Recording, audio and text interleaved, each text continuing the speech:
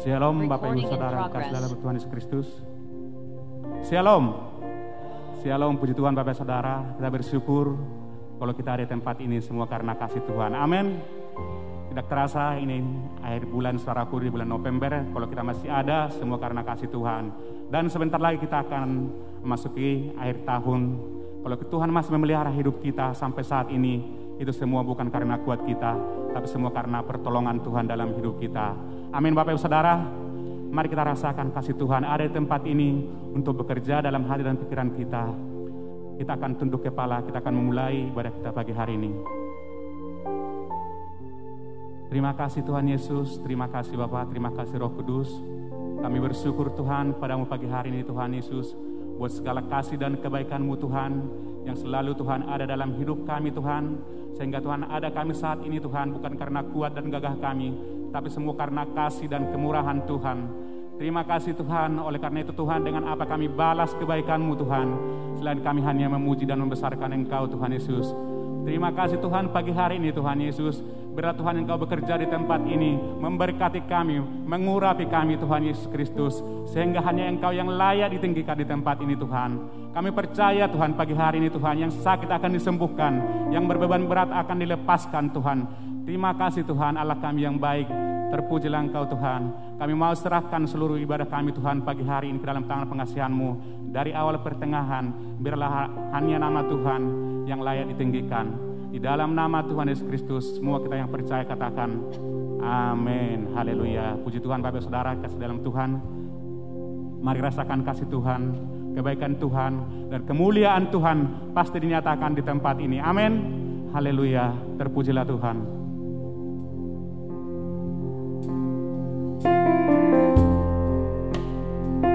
Terima kasih Tuhan.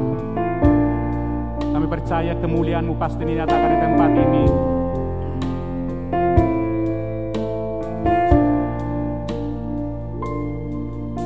Saat ku berada di tengah gelombang, Kau ada di sana.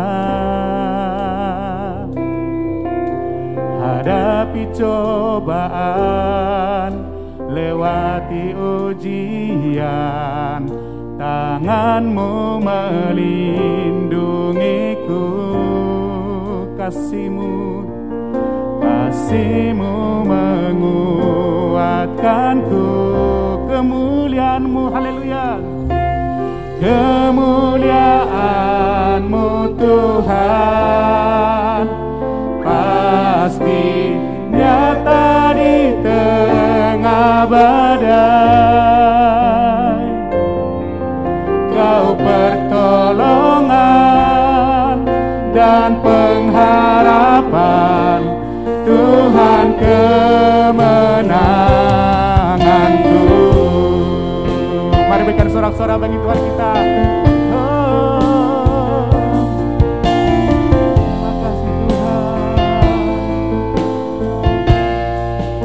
Mari nyatakan pujian ini. Saat ku berada di tengah gelombang, kau ada di sana. Hadapi cobaan,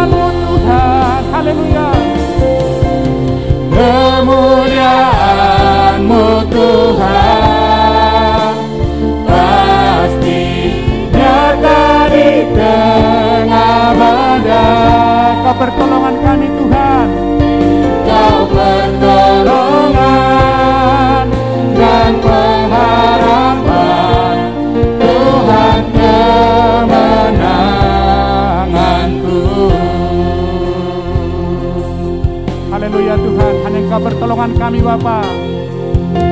Saat ku berada di tengah gelombang, kau ada di sana. Hadapi, Hadapi cobaan, lewati ujian, tanganmu, tanganmu melindungi kasihmu.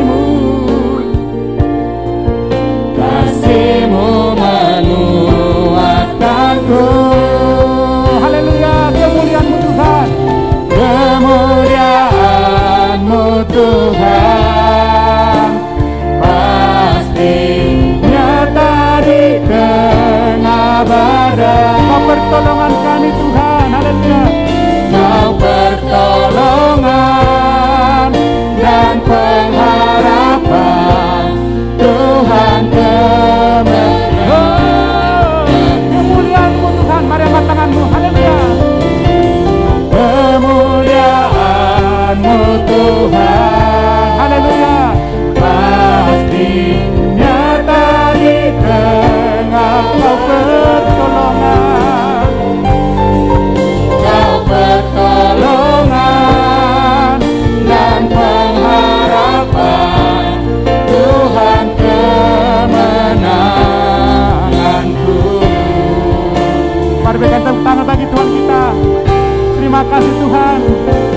Engkau pertolongan kami Tuhan dalam hidup kami. Oleh karena itu Tuhan, kami mengangkat tangan kami di hadapan-Mu sebagai kami tanda percaya kepadamu Tuhan Yesus. Haleluya.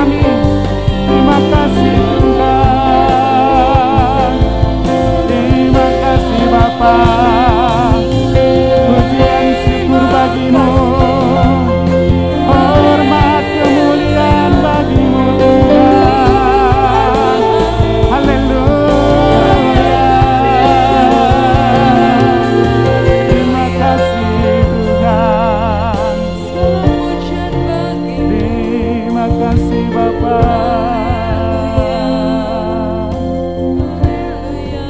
Terima kasih Tuhan.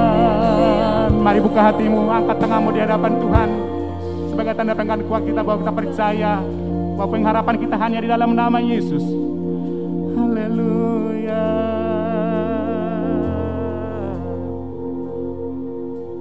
Terima kasih Tuhan. Percaya Tuhan pengharapan kami hanya dalam Engkau Tuhan. Walaupun banyak badai Tuhan yang kami hadapi, bahkan lembah yang kami hadapi Tuhan. Tapi Engkau Allah kami yang Immanuel, Allah yang selalu bersama dengan kami Tuhan. Engkau Allah yang tidak pernah meninggalkan kami. Terima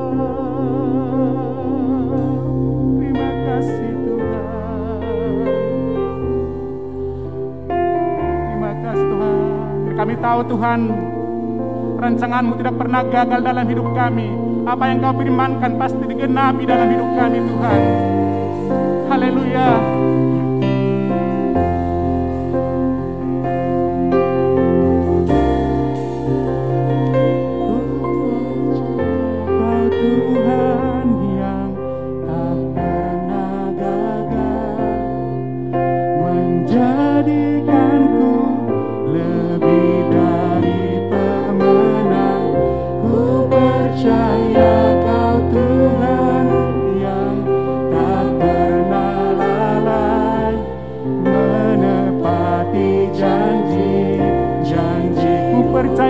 Jemaat Tuhan katakan haleluya.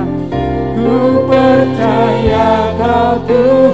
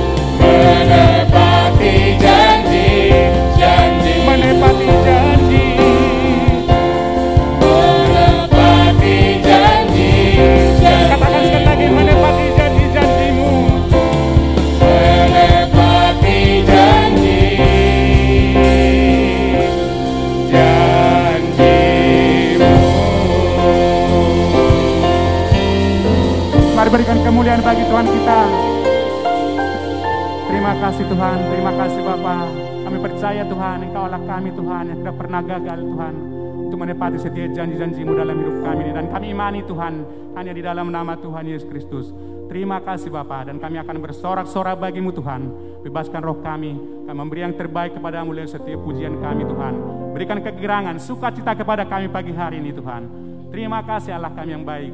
Terpujilah Engkau di dalam nama Tuhan Yesus Kristus yang percaya kita katakan. Amin. Haleluya, puji Tuhan. Saudara siap memuji Tuhan? Haleluya. Sebelum kita memuji Tuhan, mari lihat kanan kiri, berikan dulu senyum satu sama lain. Haleluya. Kita bersyukur Karena Tuhan masih memelihara kita sampai saat ini, kita harus bersuka cita di dalam Tuhan. Karena kita telah ditebus oleh darah Yesus. Amin. Haleluya. Berikan kemuliaan bagi Tuhan kita. Kita yang telah ditebus oleh darah Yesus dan bersuka cita di dalam Tuhan.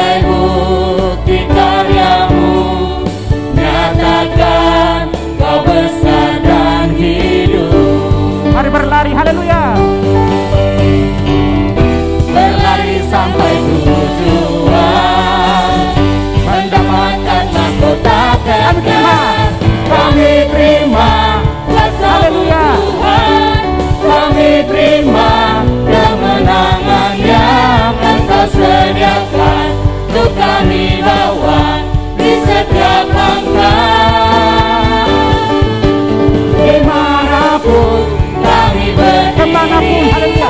Ke mana pun kami kan pergi di situ pasti mujizatmu terjadi.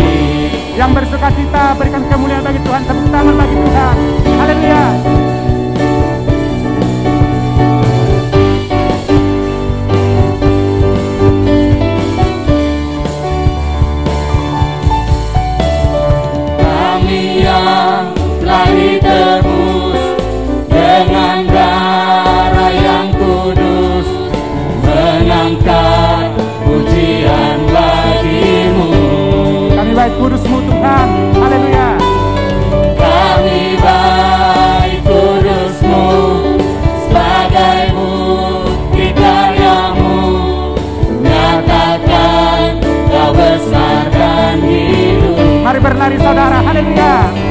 Sampai tujuan. berlari sampai tujuan. Mendapatkan mahkota kekal. Kami terima kuasamu Tuhan. Kami terima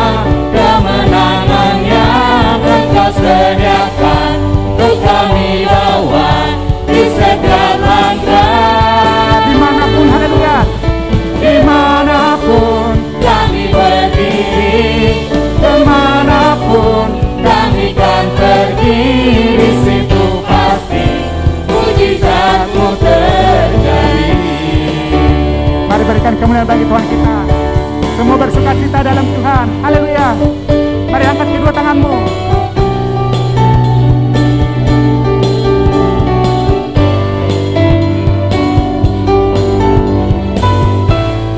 Mari kita berlari. Haleluya. berlari sampai tujuan mendapatkan mahkota kekal Haleluya. kami terima kuasamu Tuhan kami terima kemenangan yang engkau sediakan untuk kami bawa di setiap langkah Di mana pun. Haleluya. di mana pun kami berdiri ke mana pun kami kan pergi di situ pasti mujizatmu Di terjadi sini pasti mujizatmu terjadi.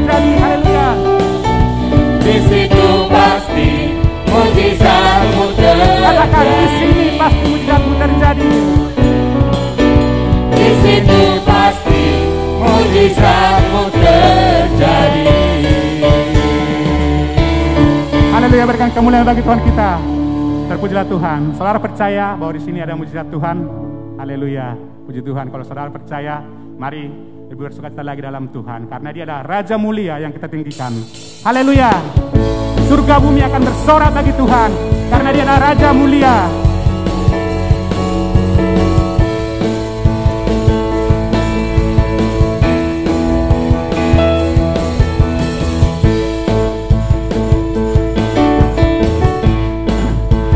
Haleluya. Raja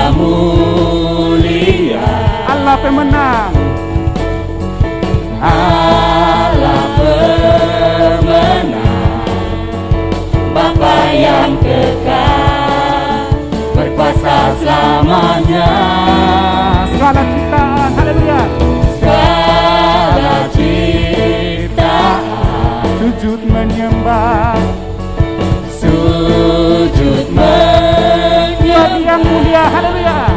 Bagi yang mulia. Berkuasa, Berkuasa selamanya. Katakan haleluya. Kaulah Tuhan,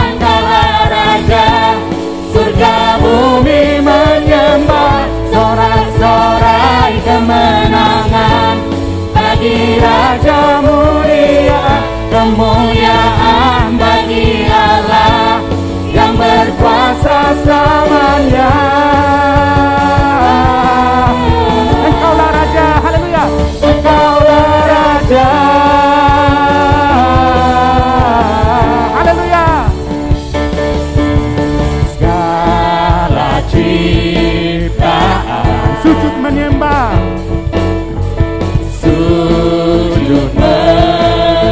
bagi yang mulia.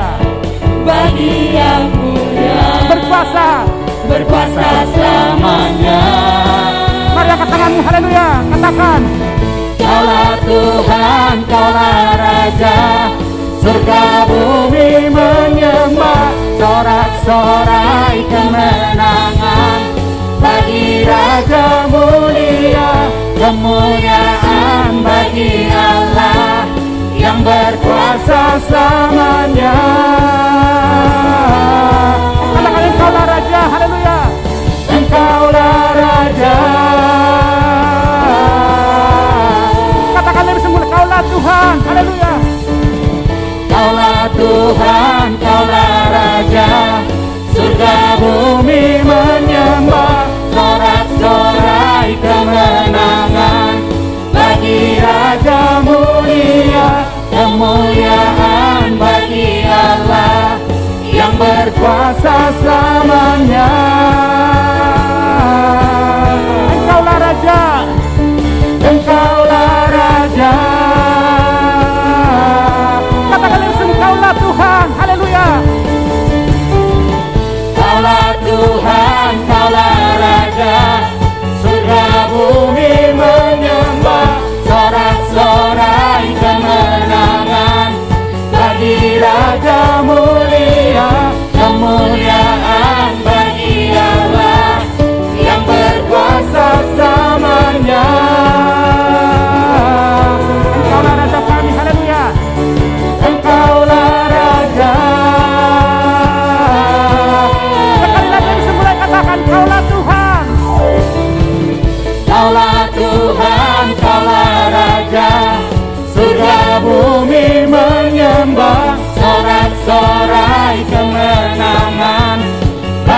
Raja Kemuliaan, haleluya. Kemuliaan bagi Allah Yang berkuasa selamanya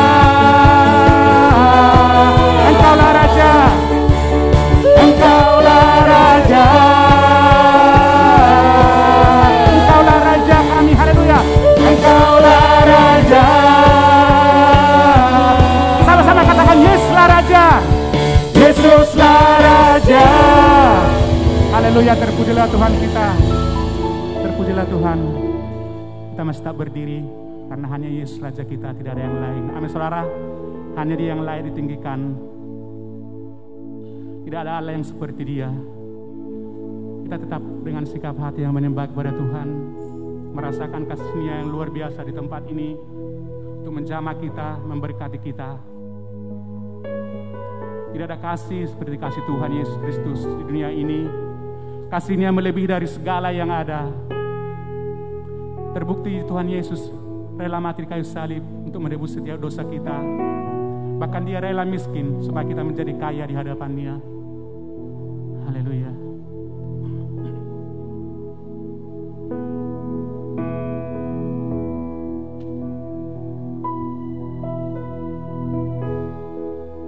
Yesus engkau baik, sungguh baik, sangat baik. Yesus engkau baik, sungguh baik, sangat baik. kasihmu tak berkesudahan kasihmu kekal selamanya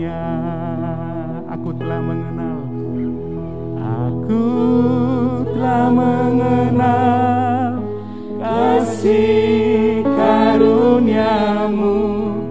Aku telah mengenal kasih karuniamu. Kau kaya rela jadi miskin. Supaya aku jadi kaya. Hosana mari angkat tanganmu Hosana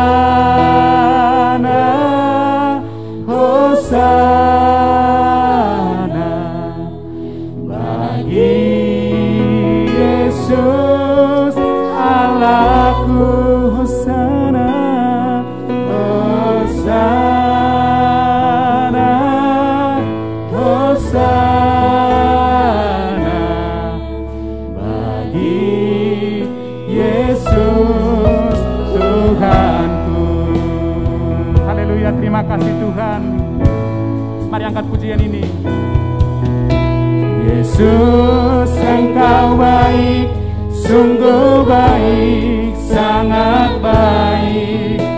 Yesus engkau baik Sungguh baik Sangat kasihmu. Kasihmu Tak berkesudahan. Kasihmu Kasihmu kekal selam aku telah haleluya. Aku telah mengenal kasih karuniamu. Aku telah mengenal kasih karunia kaya kau kaya rela jadi supaya aku haleluya. Supaya aku Hosana mari angkat tanganmu haleluya. Hosana Hosana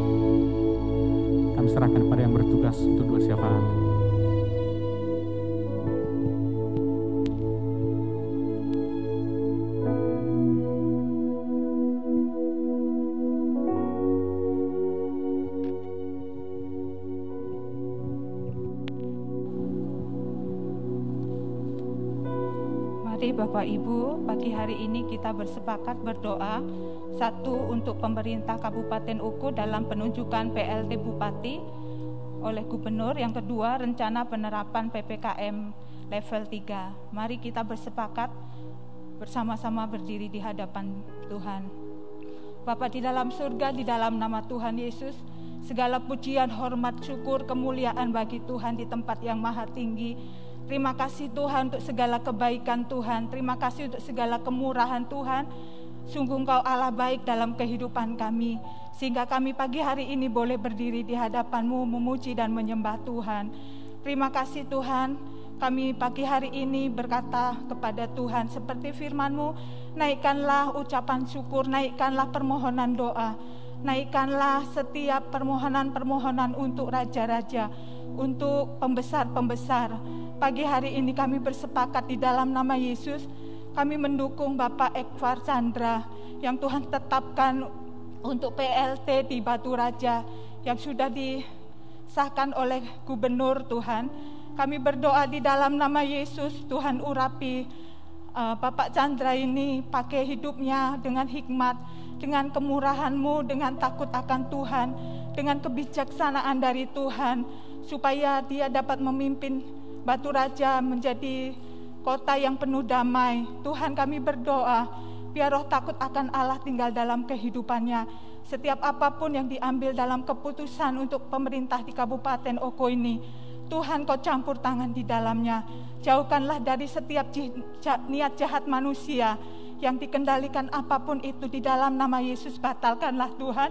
Pakai dia supaya dia tidak dikendalikan oleh apa pun Tuhan baik oknum apa pun baik itu oleh politik apa pun oleh anggota oknum-oknum yang apa pun Tuhan. Di dalam nama Yesus tutup bungkus dia dengan kuasa darah anak domba Allah. Terima kasih Tuhan biar segala keputusan yang diambil adalah untuk kesejahteraan kota ini. Kami menyerahkan di dalam nama Tuhan Yesus Bapak Chandra ini kepada Tuhan. Kami juga berdoa Tuhan untuk PPKM level 3 keputusan yang diambil oleh pemerintahan bangsa ini. Terima kasih untuk para pemimpin-pemimpin bangsa kami di Indonesia yang mengambil keputusan ini. Kami tahu keputusan ini adalah keputusan yang baik untuk bangsa ini. Tuhan berikan ketaatan, berikan sungguh hati yang mau menerima dari semua rakyat yang ada di bangsa Indonesia ini supaya kami mentaati setiap apa pun yang diambil keputusan pemerintah yang ada. Kami berdoa Tuhan di dalam nama Yesus untuk setiap virus-virus COVID ini Tuhan, supaya tidak terjadi lagi seperti tahun kemarin, lonjakan-lonjakan karena masyarakat tidak mentaati peraturan yang ada. Tuhan tolong di dalam nama Tuhan Yesus untuk setiap varian-varian baru COVID-19 ini kami katakan mati di dalam nama Yesus dalam bentuk apa pun Tuhan varian-varian baru tidak akan masuk di bangsa kami ini Tuhan. Di dalam nama Yesus kami perkatakan iman itu Tuhan. Terima kasih Tuhan tutup bungkus bangsa Indonesia dari segala virus yang ada. Tuhan berikan imun secara rohani, imun secara jasmani untuk semua bangsa Indonesia Tuhan. Terima kasih Tuhan kami juga mau mendengar kebenaran firman Tuhan pagi hari ini. Berikan hati kami hati yang haus dan lapar akan Engkau. Sebab Engkau sendirilah firman Allah. Tuhan berbicara lewat Bapak Gembala supaya kami menjadi seorang murid yang sungguh-sungguh memiliki telinga yang peka kepada suara Tuhan, supaya kami mengerti apa yang menjadi kemauan Tuhan akhir-akhir ini ini Tuhan. Biar roh kami semakin dibangkitkan, roh kami semakin dikuatkan oleh kebenaran firman Tuhan. Sehingga setiap hari kami berjalan bersama dengan firman Tuhan, kami belajar melakukannya di dalam kehidupan kami. Terima kasih Tuhan, terpujilah nama Tuhan sekarang sampai selama-lamanya. Di dalam nama Tuhan Yesus kami mengucap syukur dan berdoa. Haleluya. Amin.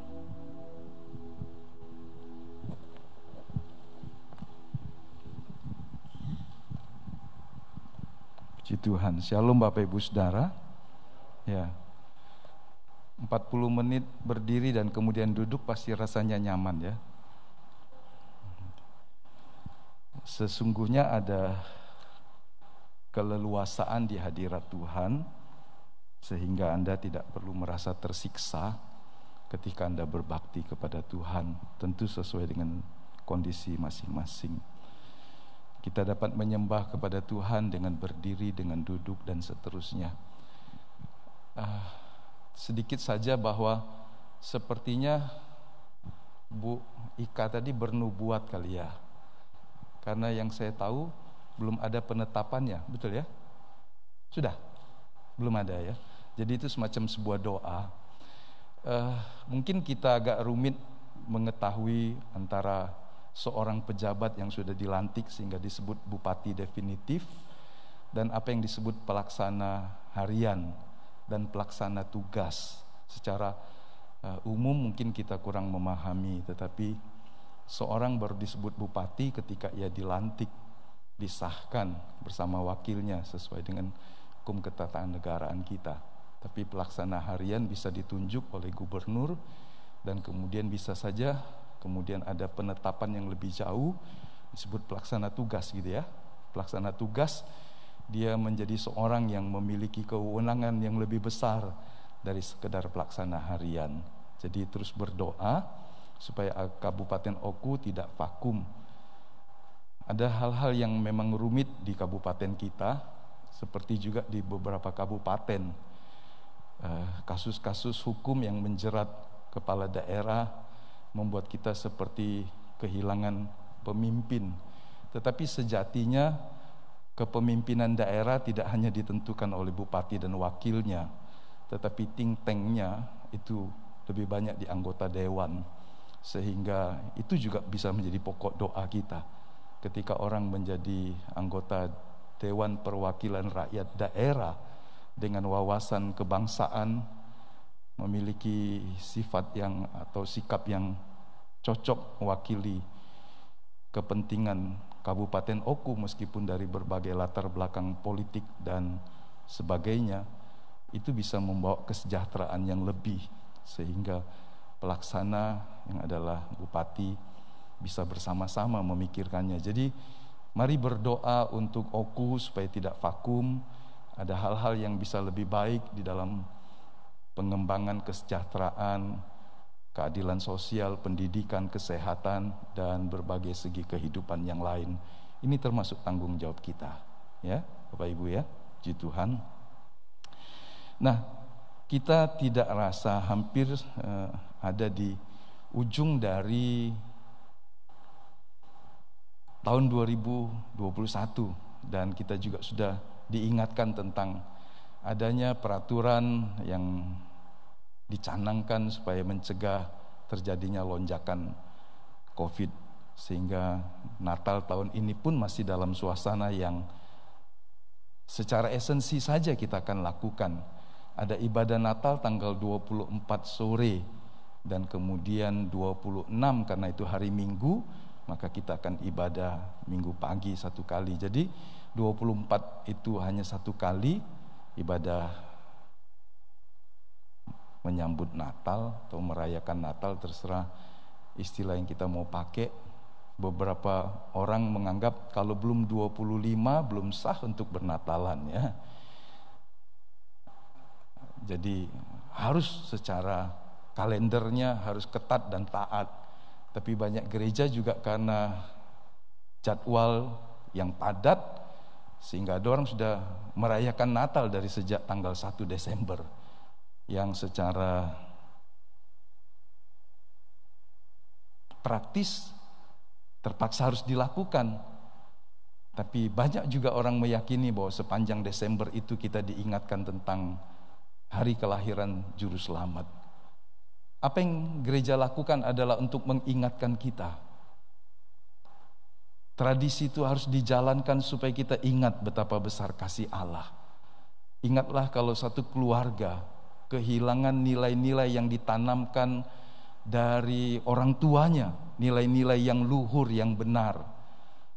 Itu bisa membuat anak-anak tumbuh, mengadopsi, menyerap semua informasi dan nilai-nilai di sekitarnya tanpa menyaringnya sehingga jika bapaknya adalah seorang yang mengasihi Tuhan, setia kepada Tuhan, berbakti kepada Tuhan, tapi anak-anaknya tidak diajarkan, maka yang terjadi adalah generasi berikutnya sudah langsung menjadi orang yang menyimpang jauh. Jadi betapa pentingnya memelihara kebenaran firman Tuhan, mentradisikan kebenaran firman Tuhan. Tentu kita sering alergi tradisi itu selalu bercampur baur dengan sesuatu yang tidak Alkitabiah, hanya kebiasaan, hanya sebuah uh, apa anjuran, tetapi yang saya maksudkan adalah kebenaran firman Allah, hukum firman Allah yang ditradisikan supaya kita merawatnya, mengasuhnya dan mempertahankannya, membagikannya sehingga generasi demi generasi tidak kehilangan kekayaan surgawi ini. Begitu kira-kira Bapak Ibu. Jadi kalau Anda tanya mengapa dalam suasana pandemi orang masih merayakan, mengucap syukur buat peristiwa Natal supaya kita tidak pernah lupa sebab manusia gampang lupa, ya. Nah, pagi ini saya mau mengajak kita untuk melanjutkan kembali kebenaran yang kemarin kita sudah lihat ya. Eh, dua hal ini kita sudah lihat Bagaimana membuang kebiasaan buruk. Yang pertama menghentikan hoax, kebiasaan bergosip. Jadi sebuah pergunjingan yang sering kali lari dari faktanya. Mengatasi kemalasan, karena sering kali Allah bukan tidak memberkati seseorang, tetapi pemahaman yang salah tentang berkat dan pemeliharaan Allah membuat beberapa orang sangat malas untuk bergerak, malas belajar, cukup didoakan. Wah, ngeri kan? Kalau ada anak berpikir, Pak, tumpangi tangan, doakan saya supaya saya lulus ujian, supaya saya bisa mengerjakan tugas. Tapi tidak belajar. Itu kan sebuah kekonyolan orang Kristen. Bukan sebuah kesalehan, bukan iman, tapi kekonyolan yang lahir dari kebodohan akan firman Allah. Tuhan memberikan kita hikmat dan tanggung jawab. Demikian juga dengan pemeliharaan. Betapa pentingnya supaya kita tidak menjadi orang yang karena kemalasan yang didorong oleh pengetahuan yang salah, sempit dan dangkal, hanya berharap tetapi tidak melakukan bagian kita. Allah memberkati burung-burung di udara, memeliharanya dengan memberikan mereka naluri lapar, kemampuan terbang dan mencari makan. Dan Tuhan berkata, Bapamu di sorga memelihara burung-burung yang tidak punya lumbung, tidak punya gudang. Bagaimana cara Allah memelihara?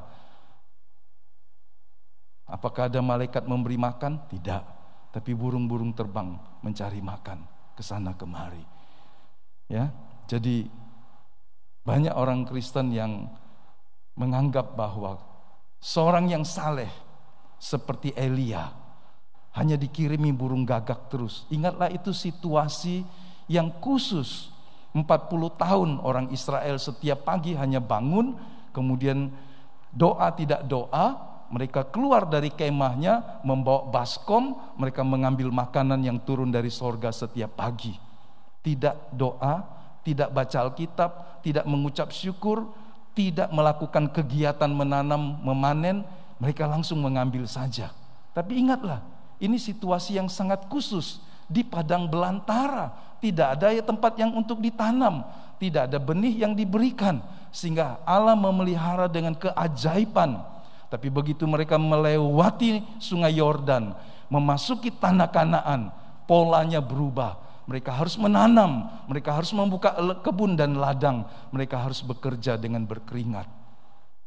Jadi, jangan kita mengambil sebuah peristiwa situasional yang khusus dalam sebuah kisah Alkitab meskipun itu fakta dan benar dan menerapkannya dalam kehidupan sehari-hari yang normal.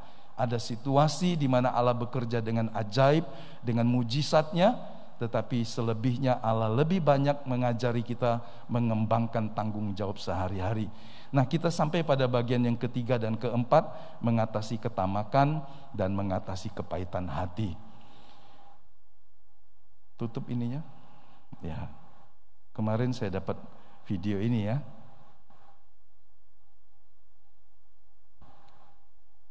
Rongga dada ayam kali ya. Ya, Bapak Ibu pasti juga dapat.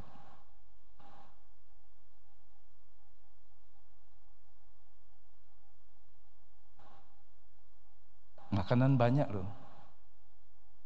Ya kan? Banyak ya buat mereka. Bapak Ibu lihat apa bedanya? Ya? Beda ya? Dalam pesta-pesta juga dikenal orang-orang yang seperti ini dan sangat memalukan. Kalau Anda datang ke pesta, tidak kuat makan, ya ambil secukupnya. Kalau Anda harus berpikir dengan yang di rumah, ada istri, ada anak, ada mertua, ada cucu, ada ponaan, ada semuanya, ajak mereka juga. Betul ya?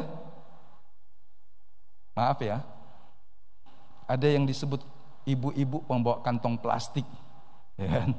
Nah, saya ingin ingatkan kalau Bapak Ibu adalah seorang yang mendengar firman Tuhan setiap hari. Jangan berperilaku seperti itu. Kecuali yang punya pesta atau yang punya wewenang membawakan kepada Anda. Mengizinkannya. Jangan rebutan. Karena sungguh itu sebuah ungkapan sifat ketamakan, keserakahan. Mengambil lebih banyak dari yang seharusnya. Jadi kita lihat ya, anda boleh makan dua tiga porsi kalau memang itu membutuhkannya. Tapi kalau Anda cuma mampu satu porsi, jangan ambil tiga porsi. Karena dua porsinya akan terbuang. Itu bagian atau milik orang lain. Ya,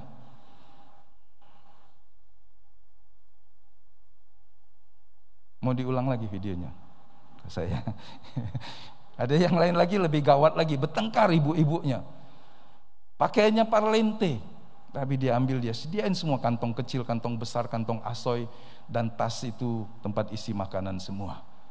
Ditegur oleh orang di sebelahnya, dia marah. Ya, sampai rebutan dan ributan. Memalukan ya. Nah, bagian ini kita mau melihat mengatasi ketamakan. Ini tidak cerita makanan, tapi ini bicara tentang yang lain.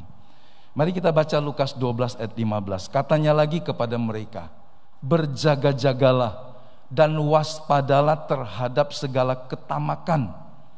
Walaupun seorang berlimpah-limpah hartanya, hidupnya tidaklah tergantung daripada kekayaan itu.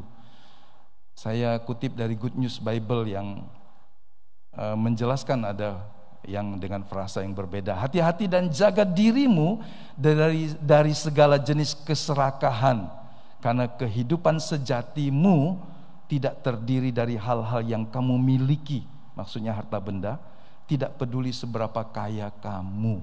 Jadi hidup tidak ditentukan oleh harta bendamu, tetapi maksudnya adalah ketika orang menjadi tamak dan serakah, dia sangat bergantung tidak lagi kepada Tuhan, tetapi kepada apa yang dia punyai yang sebetulnya datangnya juga dari Tuhan.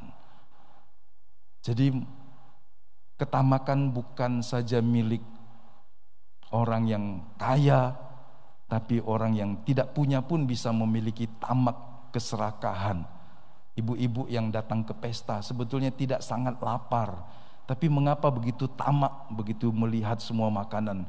Ya. Kenapa harus juga dibawa pulang seumpama begitu? Ini tidak bicara kaya dan miskin, tapi ada sebuah tabiat di dalam dirinya yang harus dikikis, yang harus dibuang. Sebuah kebiasaan buruk dan orang Kristen harus jadi contoh. Jika Anda diundang di pesta adat, pesta keluarga, batasi dirimu. Ingatlah pepatah kuno berkata pasang pisau di lehermu kalau nafsumu sangat besar. Ya, maksudnya jadi seumpama contoh yang tidak baik seperti itu.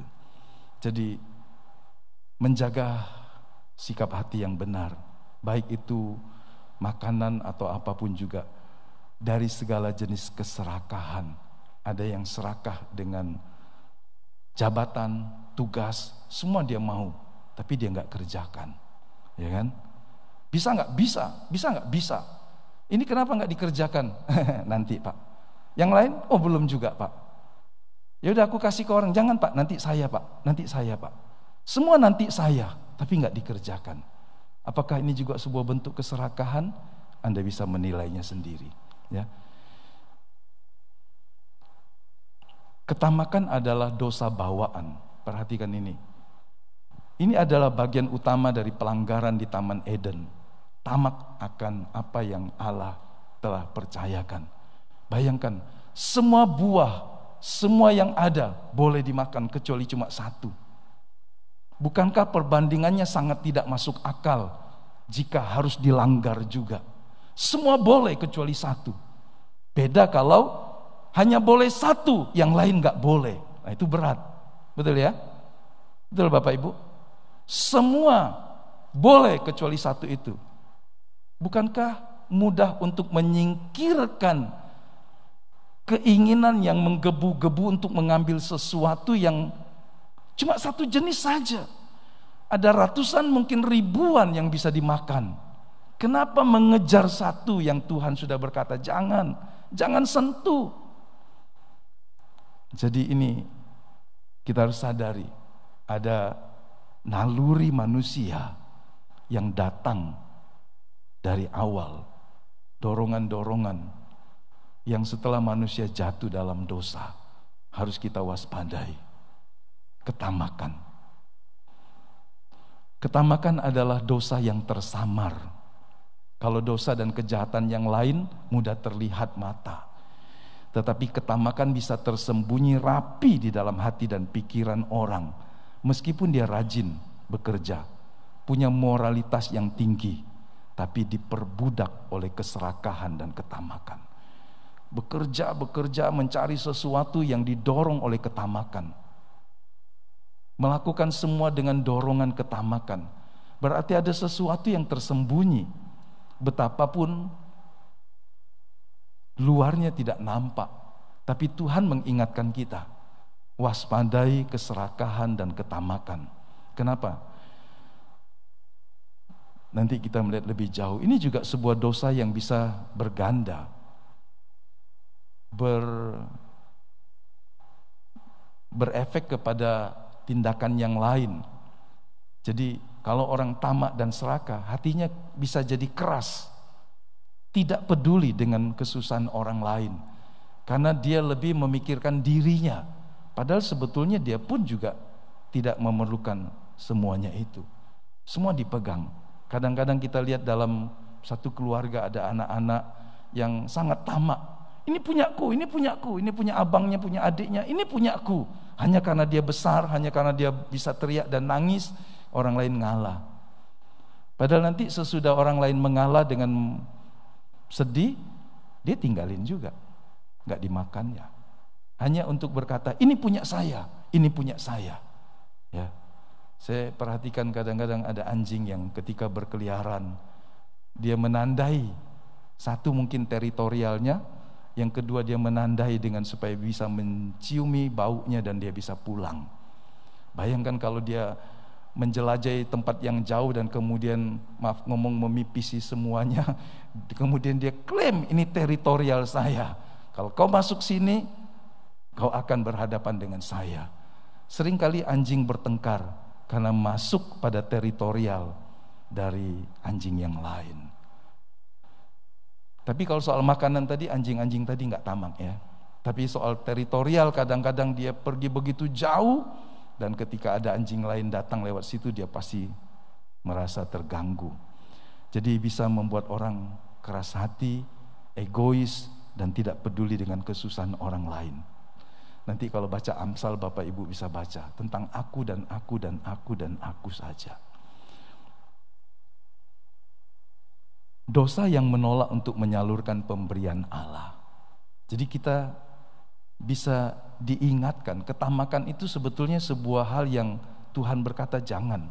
Kenapa? Karena bisa membuat Anda berhenti menyalurkan berkat-berkat yang Tuhan berikan kepada Anda. Kita diberkati untuk menjadi berkat. Itu prinsip Tuhan. Mengapa kita diberkati dengan anugerah dan kebaikan supaya kita bersaksi kita harus mengakui semua datang daripadanya. Dialah yang memberikan kita kesehatan, kekuatan, anugerah untuk mengumpulkan, untuk mengerjakan itu. Dan semuanya haruslah kembali kepada Tuhan. Ketamakan bisa membuat kita menghentikan siklus itu, memotongnya dan menyembunyikan bagi diri kita sendiri. Saudara lihat bagaimana ketamakan bisa membuat rencana berkat Allah untuk orang-orang lain terhenti. Termasuk juga hal-hal yang rohani. Kadang-kadang orang Kristen tidak peduli dengan orang lain. Yang penting saya sudah selamat. Saya sudah percaya kepada Tuhan. Haleluya. Tapi nggak peduli dengan orang lain. Dia ingin masuk sorga dan sorga hanya bagi dia. Tidak punya belas kasihan untuk orang-orang yang belum diselamatkan.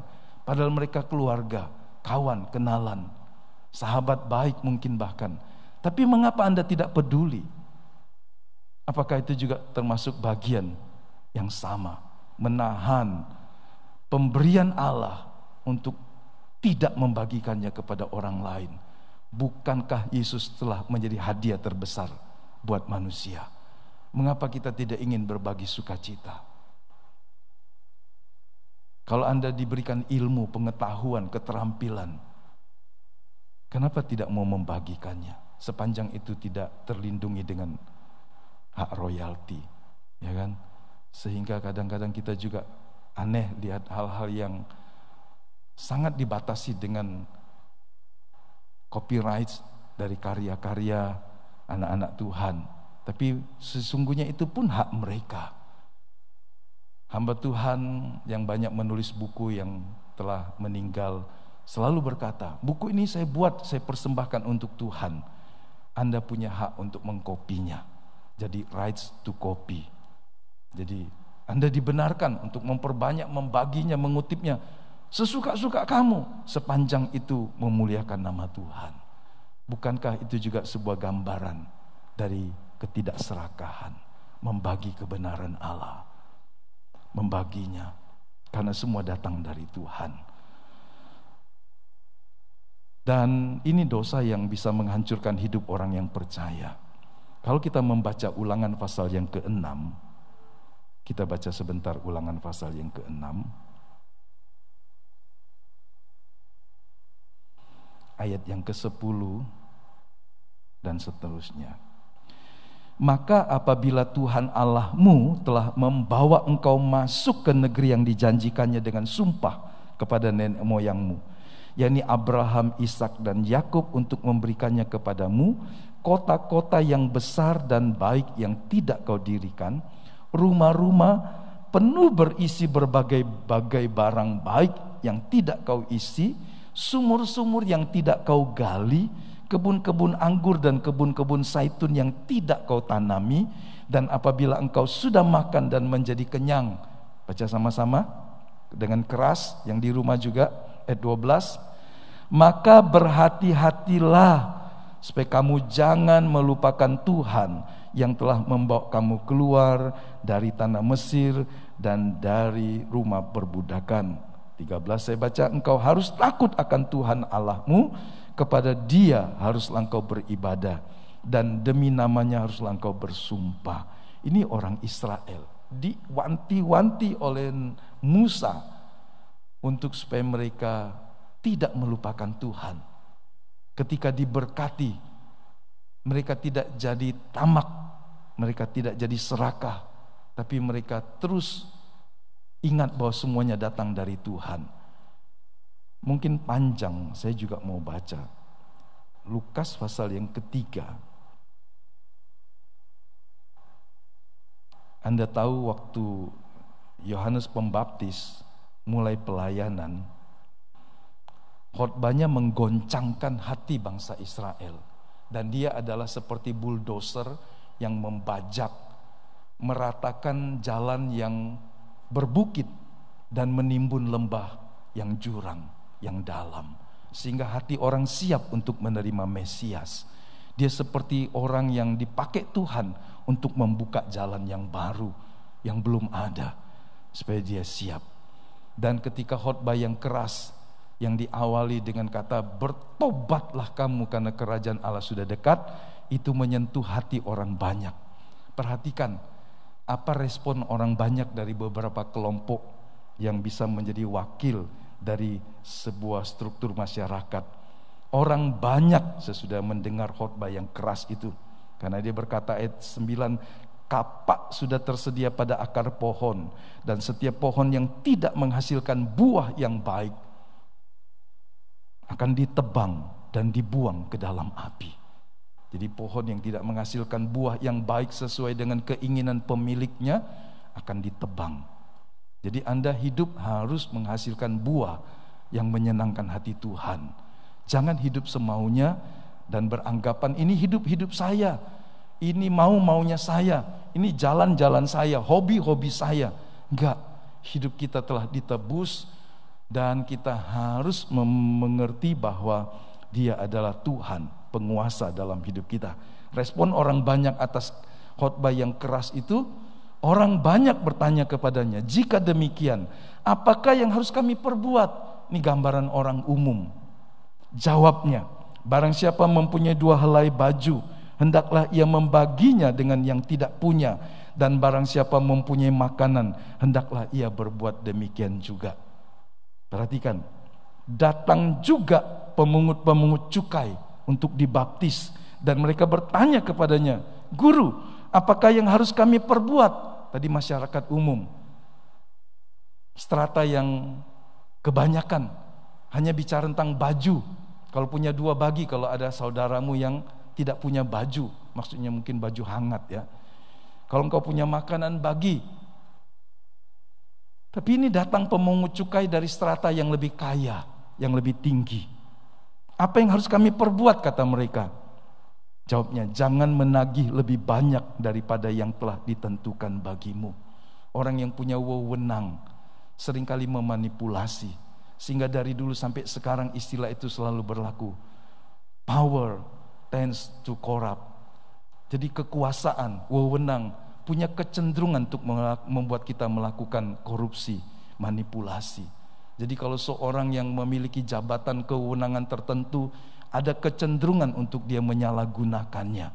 Sehingga pesan dari Yohanes Pembaptis, jangan menagih lebih banyak dari yang telah ditentukan bagimu. Kalau kita membayangkan pemungut cukai, dia sudah dapat gaji, tapi dia juga bisa menyalahgunakan wewenangnya untuk memeras orang dan menetapkan lebih. Ini juga gambaran dari orang-orang yang memiliki tugas mengambil lebih dari yang ditentukan.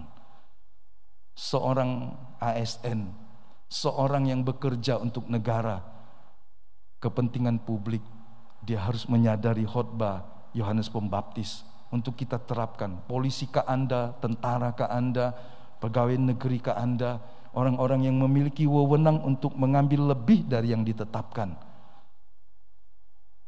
Apa yang dikatakan oleh Rasul Yohanes, uh, Nabi Yohanes ini? Jangan menagih lebih banyak dari yang telah ditentukan. Ayat 14, dan prajurit-prajurit bertanya juga kepadanya, dan kami, apakah yang harus kami perbuat? Ini prajurit. Kalau yang tadi punya wewenang, ini punya kuasa. Jawab Yohanes, jangan merampas, jangan memeras, dan cukupkanlah dirimu dengan gajimu. Wah, kalau Anda perhatikan kepada sekelompok orang banyak bicara tentang baju dan makanan. Kepada pemungut cukai dia bicara jangan mengambil lebih dari yang ditetapkan kepada orang yang memiliki kuasa pedang, bedil dan seterusnya yang bisa memeras, yang bisa merampas. Dia berkata, "Jangan memeras, jangan merampas." Bapak Ibu kalau dirangkum tiga kelompok ini Yohanes Pembaptis bicara pertobatan itu mengenai apa? Apa dia berkata berdoa puasalah lebih banyak. Baca kitab suci lebih dalam Pergilah ke bait Allah setiap pagi. Ada nggak gitu? Bukankah ini sebuah respon atas khotbah yang keras? Bertobatlah kamu. Jadi pertobatan ternyata bicara tentang sebuah perubahan hidup sikap kita terhadap harta benda. Dalam hal ini Yohanes bicara tentang kecintaan perbudakan benda bisa membuat orang kehilangan arah yang benar dalam hidupnya. Dia tidak bicara tentang banyak berkhotbah, banyak menyanyi, banyak ke gereja. Enggak. Langsung kepada hal yang menyentuh yang bisa mengikat hati manusia. Kalau punya dua baju, kasih orang yang tidak punya. Bukan sepuluh loh saudara.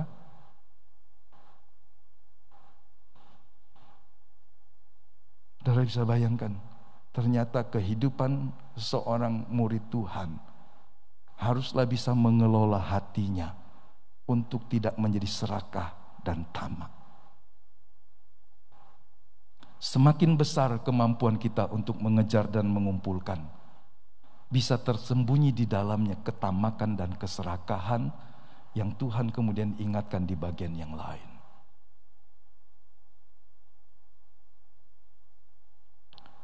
sebuah peringatan keras bahwa manusia tidak dapat mengabdi kepada dua Tuhan.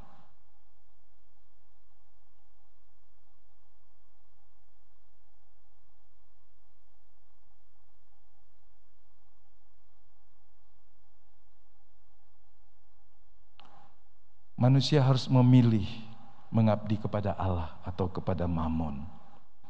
Jadi ini sebuah peringatan bagi kita dalam Lukas yang kemudian Tuhan ingatkan atau juga dalam Injil Matius, kamu tidak bisa mengabdi kepada Tuhan dan kepada Mammon.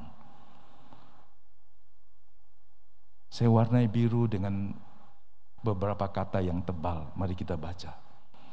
Peringatan buat kita bahwa uang, harta benda bisa menjadi sesuatu yang sangat mengikat diri kita sehingga kita meninggalkan Tuhan menduakan Tuhan, melupakan Tuhan. Iblis dikalahkan di kayu salib. Kematian Kristus telah menghancurkan kuasa dosa, Maut tidak lagi menjadi sesuatu yang menakutkan. Tapi ada yang Tuhan wanti-wanti. Kecintaan kepada mamon membuat Anda menduakan Tuhan. Mari selidiki hati kita. Dengan ketulusan saya tidak ingin kita semua merasa bahwa khotbah ini ditujukan untuk saya, untuk dia dan tidak. Tapi ini untuk saya, untuk saudara. Ingatlah ini tidak bicara tentang berapa banyak, tapi ini bicara tentang keserakahan yang membuat kita menduakan Tuhan.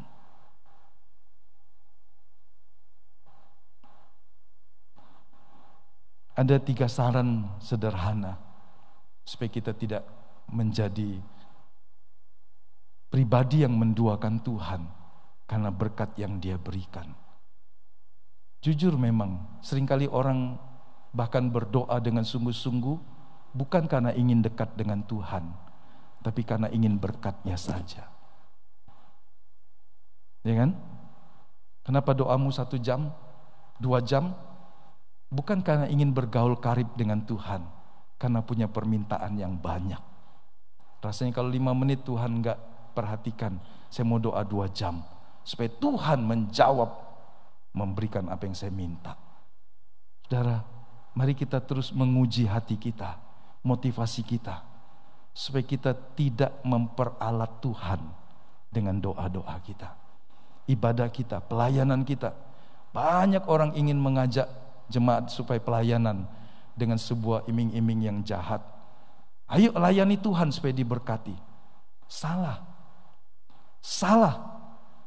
Saya mengajak Anda melayani Tuhan karena dia layak untuk Anda layani. Jikapun dia tidak memberi apa yang Anda minta, Anda tetap melayani Tuhan. Betul? Jangan sampai Anda ke gereja rajin pelayanan, rajin berdoa, rajin baca Alkitab, karena terdengar kalimat supaya saudara diberkati. Betul, setiap orang yang mendekat melayani Tuhan pasti diberkati karena Tuhan sumber berkat. Tapi bukan itu motivasi utamanya. Tetapi karena dia memang layak untuk disembah, dia layak untuk dihormati, dia layak untuk dilayani karena dia telah melakukan semuanya lebih dulu. Semua yang kita lakukan tidak setimpal sebagai balasan. Jangan sampai kita salah. Kita rajin karena kita ingin diberkati. Tapi kita rajin karena kita sudah diberkati Tuhan. Karena kita sudah ditebus, karena kita sudah diselamatkan. Seorang pendiri dari organisasi misi dunia yang punya banyak tempat di dunia mempunyai sebuah moto. Tidak ada pengorbanan yang besar bagi Kristus yang telah mati buat saya. Dan organisasi ini tidak memberikan gaji misionaris ini harus belajar. Ada dua atau tiga tempat, satu di Kanada, satu di New Zealand, satu di tempat yang lain. Untuk orang menjadi misionaris dalam wadah ini, mereka harus belajar. Dan mereka tidak boleh sembarangan. Dan mereka tertanam bekerja bukan untuk gaji. Bekerja bukan untuk mendapatkan penghasilan. Tapi bekerja karena panggilan Allah dalam hidup mereka. Apakah mereka terlantar? Tidak tapi apakah mereka mengalami kesulitan? Ya pasti. Kesulitan visa, kesulitan ekonomi dan seterusnya. Tapi tertanam sebuah sikap militan. Melayani karena dia layak untuk menerima semua yang kita lakukan bagi dia. Tanamkan ini saudara. Saya ingin ada di dalam hati jemaat. Jika Anda rajin karena Anda mengasihi Tuhan. Jika Anda setia karena Anda mengasihi Tuhan. Bukan karena sesuatu yang di mata Tuhan sangat remeh-temeh, sangat dangkal. Banyak orang mengumbar berkat-berkat sebagai imbalan ketika orang harus memberikan persembahan. Ayo memberi supaya Anda diberkati berlimpah-limpah. Bersaksi dulu belum percaya kepada Tuhan, susah payah hidupnya. Sesudah percaya Tuhan sekarang diberkati dengan ini dan itu. Baik-baik saja bercerita itu. Tapi jangan jadikan itu sebagai sebuah cara untuk mengkondisikan orang melakukan pelayanan, melakukan persembahan-persembahan. Karena menurut saya itu jahat dan salah. Tuhan ingin kita mengasihi dia, menghormati dia dengan tulus. Yang paham katakan amin saudara. Karena Anda pun pasti tidak ingin punya sahabat yang cuma mau sesuatu dengan saudara. Kalau dia sudah dapat, saudara ditinggalkannya. Ya kan? Kalau saudara nggak memberi, mukanya cemberut dan kemudian berkata jelek tentang saudara. Saudara pasti ingin sahabat yang justru mau menolong saudara. Bahkan rela berkorban. Saudara akan berkata, ini sahabat yang luar biasa. Bagaimana kalau punya istri atau suami yang punya, hanya mau sesuatu dari engkau cuma mau baik, cuma baik, cuma mau dekat, cuma mau hormat, cuma mau segalanya karena ada sesuatu dari engkau. Tapi begitu dia tidak dapat dia akan marah. Bertahun-tahun disimpan dan kemudian disampaikan di pengadilan. Enggak cocok lagi aku. Nah, saudara, saudara bisa bayangkan. Tuhan ingin kasihmu tulus, persahabatanmu dengan sesama, relasi suami istri, saudara satu dengan yang lain. Mengerikan kalau terlalu banyak hal-hal yang tidak tulus di dalamnya. Kalau kepada sesama kita menilai tinggi sebuah persahabatan, relasi dengan kemurnian, mengapa kita tidak menganggap itu sesuatu yang juga sama ketika berhubungan dengan Tuhan?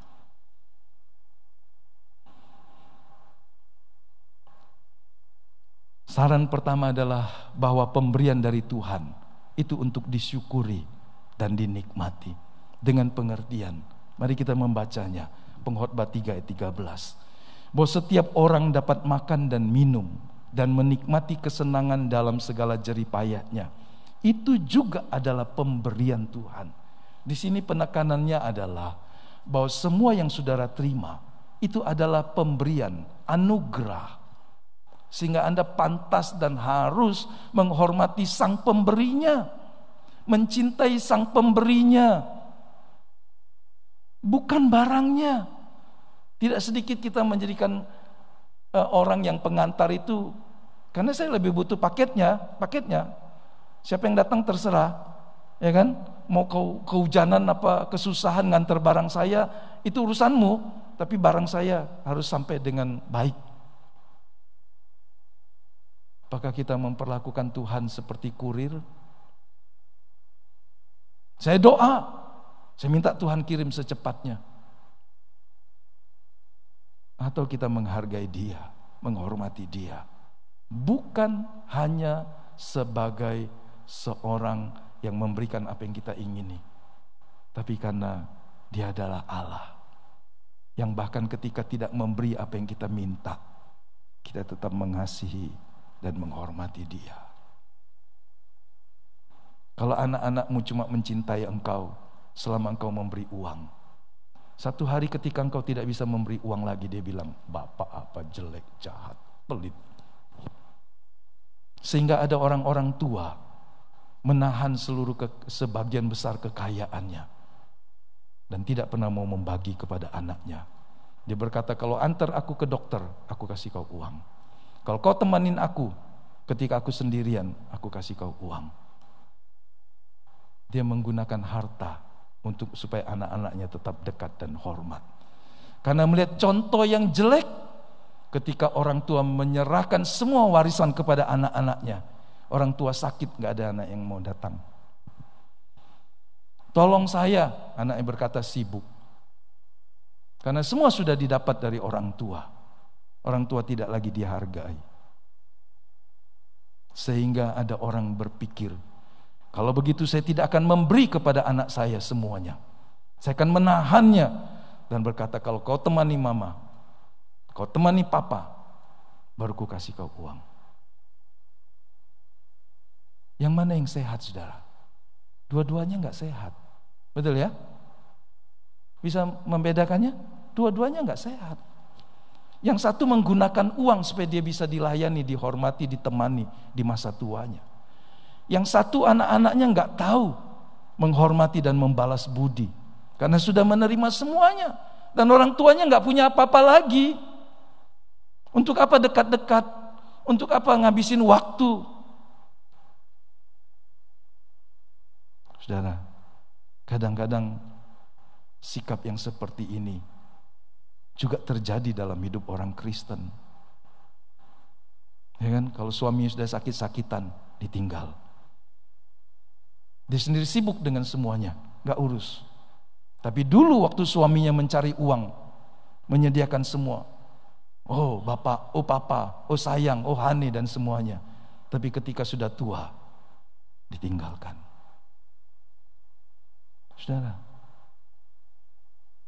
bukankah itu sesuatu yang sering kali terjadi? Yang kita lihat. Kenapa? Karena pemikirannya hanya tentang bendanya, pemberiannya, bukan sang pemberinya. Saya kutip dari terjemahan God's Word. Merupakan anugerah Tuhan untuk kita bisa makan dan minum serta merasakan kebaikan yang datang dari setiap kerja keras. Garis bawahi merupakan anugerah dari Tuhan. Jadi mari kita syukuri bahwa betapa baiknya Dia. Ingat akan Tuhan. Setiap berkat makan, minum dan semuanya yang lain. Kita ingat bahwa Tuhan Bapa yang baik. Ketika pemberian Tuhan tidak tulus diakui dan tidak disyukuri, berkat yang kita terima bisa menjadi jerat. Sehingga ketika orang diberkati dengan semua yang dia punyai, hatinya melekat kepada berkatnya. Cinta kepada mamunnya melampaui cinta kepada Tuhannya. Ini yang saya maksud. Ketika pemberian Tuhan, pemeliharaan Tuhan tidak disyukuri dan diakui dengan tulus, maka semua yang kita terima menjadi sebuah jerat dalam telaah tentang masyarakat dari negara yang berkelimpahan sumber daya alamnya. Maka ada sebuah istilah dari para sosiolog. Kekayaan alam telah menjadi kutuk bagi masyarakatnya. Karena ketika mereka berlimpah-limpah dengan sumber daya alam, mereka tidak menjadikan itu sebagai sebuah modal untuk berkembang, tapi habis dikonsumsi. Dan ketika semuanya tidak ada lagi dari sumber daya alam, mereka adalah tersisa masyarakat yang malas, yang bodoh, yang terbelakang, yang tidak berkompetisi dengan dunia di sekitarnya. Ketika semuanya ada disediakan Tuhan melalui alam yang berlimpah, orang-orang ini menggunakan kelimpahan itu dengan salah. Tanamkan ini kepada anak-anakmu. Satu hari papa mamamu nggak ada. Kau harus bergantung dengan Tuhan mulai sekarang. Jangan cover anak-anakmu dan proteksi dia secara salah. Sehingga dia mengandalkan engkau lebih dari mengandalkan Tuhan. Beres selama ada papa mama. Beres semua. Tapi ajar dia bergantung dengan Tuhan. Dari saja dia mengerti perkataan itu. Ketika pemberian tidak disyukuran diakui, pemberian itu bisa jadi jerat. Karenanya Amsal mengatakan pasal 3 ayat yang ke-6, akui dan hormati Tuhan atas semua anugerahnya. Akui dia dalam segala jalan dan lakumu, maka dia akan meluruskan jalan hidupmu. Mengakui bahwa semua yang kita terima datangnya dari Tuhan. Pengakuan ini berdampak pada sikap berikutnya, Tuhan mau apa dengan apa yang kau berikan kepada saya? Karena kita sadar ini pemberian. Dia pasti punya tujuan. Dia pasti punya maksud mengapa dia memberikan saya. Entahkah itu tugas, entah itu kekayaan dan harta.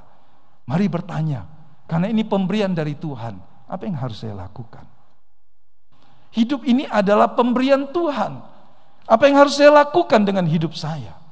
talenta, kesanggupan ini datangnya dari Tuhan. Apa yang harus saya lakukan? Pemberian yang disyukuri dan dinikmati dengan mengakui Tuhan, mendorong sikap bertanggung jawab supaya kita mengelolanya sebagai seorang yang dipercaya Tuhan. Tuhan pernah memberikan sebuah contoh. Ada orang yang mengusahakan semuanya dengan sangat cerdas sangat teliti, sangat baik, sehingga berkelimpahan hasil panennya. Ketika panen berkelimpahan dia punya hikmat membangun lumbung-lumbung yang besar. Dan kemudian dia berkata, makan minumlah hai jiwaku karena ada padamu semuanya. Dia cerdas dalam semua hal, dalam perencanaan, dalam pengelolaan, dalam pasca panennya. Hanya satu dia bodoh, tidak melibatkan Tuhan dalam semuanya. Di titik ini kita lihat Ketika orang merencanakan sesuatu tanpa Tuhan, ketika orang melaksanakan tanpa Tuhan, ketika orang mengelola semuanya tanpa Tuhan, bisa. Betul ya? Dia tidak melibatkan Tuhan dari awal. Kecerdasan, kemampuan, relasi, pengalaman, dan sebagainya membuat dia berhasil. Tapi satu kelemahan dan kesalahan yang paling besar adalah dia tidak melibatkan Tuhan sehingga dia berkata, hai jiwaku ada padamu semuanya. Makan, minum dan bersenang-senanglah. Dan Tuhan berkata, hai engkau orang bodoh. Malam ini juga nyawamu dicabut. Untuk apa engkau susah payah berlelah-lelah. Dia tidak melibatkan Tuhan dan bertanya, Tuhan, apa yang kau mau dengan semua kelimpahan panenan ini? Jadi saudara lihat langkah pertama, kedua, ketiga dia bisa lakukan tanpa Tuhan. Tapi ketika dia tidak melibatkan Tuhan sampai seterusnya hidupnya adalah sebuah kegagalan dan kebodohan di mata Tuhan. Inilah bagian dari manusia yang berlomba menumpuk harta kekayaannya tanpa pernah mampu menikmati kekayaannya. Kerja keras dari muda sampai tua. Kemudian sudah tua, masih juga tidak bisa menikmati dan mensyukuri pemberian Tuhan. Kalau Anda cari contoh orang-orang seperti ini banyak sekali. Bahkan ketika diwariskan kepada generasi berikutnya, orang-orang yang hidup dalam kelimpahan harta tapi menderita. Mati di usia muda, mati tanpa ditemani siapa pun karena overdosis dan seterusnya. Orang yang tidak melibatkan Tuhan akan menghabiskan waktu untuk mengumpulkan harta, tapi tidak memiliki karunia untuk menikmatinya.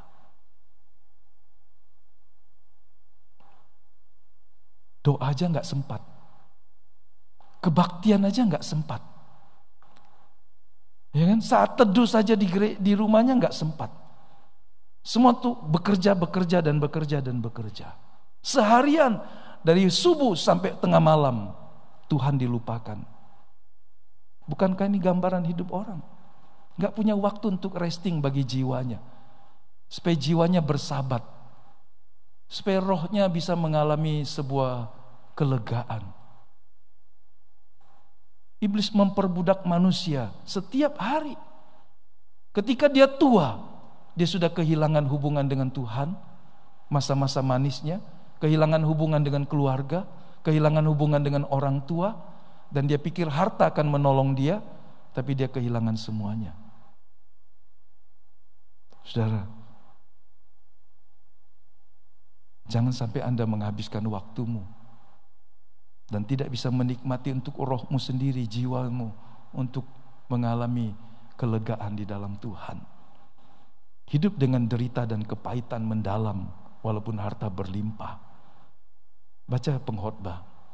Kalau yang ngomong ini orang miskin dan gagal, Anda bisa lecehkan pendapatnya. Tapi ini hasil dari sebuah perjalanan hidup yang telah teruji puluhan tahun, melewati keberhasilan, kegagalan. Di ujung hidupnya dia menyadari ini. Apakah ini terlambat? Mungkin bagi dia. Sehingga ada yang beranggapan dia tidak finishing well dalam hidupnya. Dia telah kehilangan masa-masa emas dalam hidupnya sehingga berakhir dengan kengerian, kehancuran yang terwariskan kepada generasi berikutnya. Perhatikan orang hebat ini berkata. Pengkhotbah pasal 2 ayat 23. Seluruh hidupnya penuh kesedihan dan pekerjaannya penuh kesusahan hati. Bahkan pada malam hari hatinya tidak tentram. Ini pun sia-sia. Dia berkata hidup seperti usaha menjaring angin.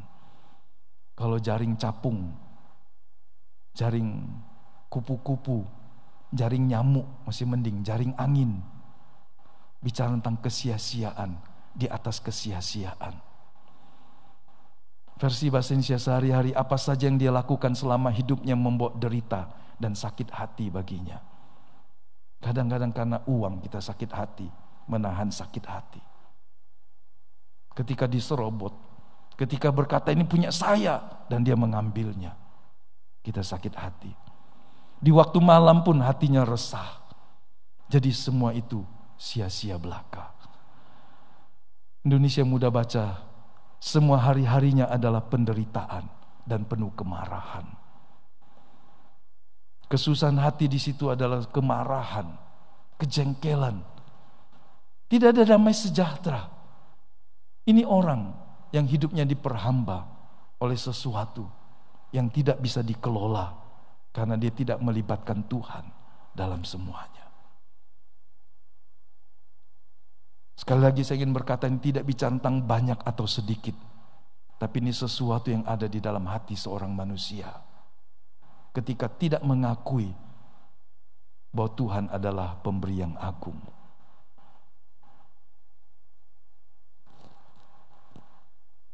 Mungkin kita bisa berkata, apakah yang Anda terima membuat Anda dekat dan makin hormat dengan Tuhan? Atau membuat Anda makin jauh dengan Tuhan? Itu sebuah pertanyaan yang sederhana. Kalau Anda dipercayakan pada sebuah tugas dan jabatan, apakah itu membuat Anda makin menghormati Tuhan atau makin menjauh dari Tuhan? Mari mengujinya. Setiap tugas, setiap berkat, setiap anugerah, setiap hal yang Tuhan percayakan kepadamu, apakah itu membuat Anda lebih dekat dan memuliakan namanya atau membuat Anda makin jauh. Yang kedua tipsnya adalah bahwa pemberian untuk dibagikan. Salah satu cara untuk hati kita tidak melekat dengan harta adalah belajar memberi. Murah hati adalah lawan dari ketamakan dalam hal. Sebab dengan murah hati Anda melepaskan kecintaanmu kepada apa yang Allah berikan kepadamu. Ini sebuah buah roh yang dihasilkan oleh orang-orang yang hidupnya melekat kepada Tuhan. Murah hati itu dahsyat saudara. Bisa mengikis ketamakan. Kalau orang serakah dan tamak, dia nggak bisa murah hati. Ya kan? Kenapa orang tadi yang rebut-rebutan itu tadi? Tamak dan serakah. Bisa nggak dia berkata, oh kau belum dapat, ambil, ambil. Ini nih, aku sudah ambil banyak. Bisa nggak? Nggak kan? Oh ini punya saya, ngambilnya aja susah, ambil sana sendiri. Padahal udah habis. Karena kamu yang menghabiskannya. Orang murah hati bisa melepaskan ketamakan. Ayo ambil. Walaupun tadi saya ngambilnya susah payah seumpama begitu. Belajar melepaskan ketamakan, mengatasinya dengan bermurah hati. Dalam hidup sehari-hari teruslah belajar untuk peduli dengan sesama Ingat sesama terdekat katigamu, keluargamu, kawan kenalan. Jangan hanya baik untuk orang di luar yang tidak Anda kenal. Ya kan? Tapi suamimu, istrimu, orang tuamu, adikmu, saudaramu juga harus mengalami kebaikan hatimu. Tuhan berikan sebuah tips, tangan yang di atas lebih mulia dari tangan yang di bawah. Saya percaya kita semua senang diberi, mendapatkan hadiah. Tapi saudara akan menikmati sebuah kesukaan yang lebih tinggi ketika Anda memberi. Kalau di depan ada orang yang dermawan dan membagi untuk Natal ya Pak, untuk Natal ya Pak, untuk Natal ya Pak. Saya percaya kita pulang sambil turun tangga dengan berkata, terima kasih. Betul? Itu sangat manusiawi, senang menerima. Tapi tahukah Anda kesukaan ketika Anda memberi dan berbagi? Dan Tuhan berkata, terlebih bahagia. Kalau Anda mau mengetahui bagaimana bahagianya seorang yang bermurah hati, belajar terapkan ini. Bukan karena Anda sudah kaya, tapi mulai dari apa yang Anda padamu. Berbagi kepada orang. Sekali lagi, tangan di atas lebih mulia dari tangan yang di bawah. Ada saat Anda menerima, tapi lain pihak Anda membaginya. Ini sebuah keseimbangan hidup. Jangan bermental hanya begini terus. Tapi ada waktu Anda membagi, membagi, dan membagi. Kepada siapa Tuhan akan memberikan kepadamu dorongan hati dan pengertian. Kalau Anda bertanya, saya menerima, kepada siapa saya harus membagi Tuhan?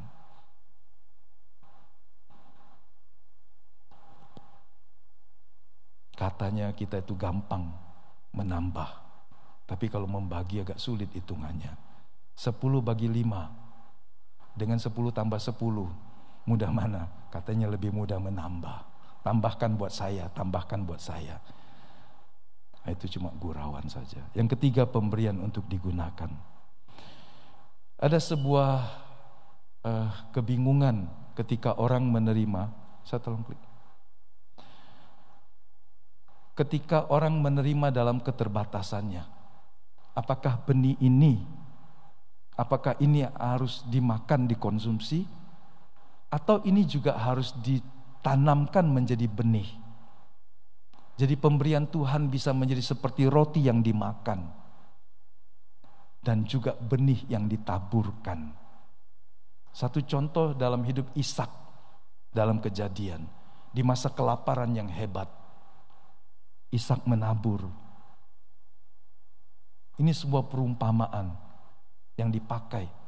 Atau maksud saya ini sebuah peristiwa yang nyata dan bisa dipakai untuk menjadi sebuah perumpamaan.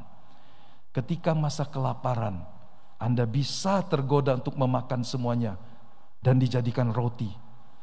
Atau Anda berkata, kalau berapa banyak dari yang sedikit ini saya habiskan jadi roti besok saya makan apa? Maka dari bagian ini saya tabur di tanah. Memang sekarang saya tidak mendapatkannya. Seratus hari kemudian saya akan menerimanya. Sebab yang ditabur dan yang dituai, pasti yang dituai lebih banyak. Sehingga meskipun merasa ini masa kelaparan, Ishak tidak mengkonsumsi semuanya jadi roti. Tapi dia menabur di tanah di masa kelaparan. Hidup di bumi adalah sebuah pengembaraan sebagai seorang musafir. Satu Petrus dan juga pada bagian yang lain berkata bahwa kita adalah pendatang, orang asing, perantau di bumi ini. Sadarilah dan ingatlah senantiasa. Perjalanan hidup di bumi yang 100 tahun kalau kita berumur 100. 70, 80 terserah Anda menginginkannya berapa. Katakanlah seratus tahun Anda akan hidup di bumi. Di bumi adalah sebuah pengembaraan. Satu hari Anda akan pulang ke satu tempat yang seharusnya. Seorang pengembara, seorang perantau, dia akan berpikir dengan benar, dengan bijak. Beda dengan orang yang berkata, "Saya penetap saya penduduk permanen. Saya akan hidup di sini selamanya dengan orang perantau. Lihat seorang perantau, dia tidak terlalu pusing. Seorang yang ditugaskan di beberapa tempat, dia akan berkata secukupnya, secukupnya, dan secukupnya. Betul Bapak Ibu? Boleh tahu ada yang merantau di kota ini dalam tugasnya? Ya, Bro Yohanes. Nah yang lain? Semua orang menetap di Batu Raja, lahir di sini atau datang di sini dan akan tinggal di sini dan berkata, aku akan meninggal di sini juga. Begitu. Nah, coba tanya orang yang merantau di Batu Raja. Satu waktu dia berkata, kalau tugasku selesai aku akan pulang. Aku akan pergi ke tempat yang lain. Bagaimana dia mengelola semuanya? Pasti berbeda. Tuhan berkata kita adalah pengembara, perantau di bumi ini.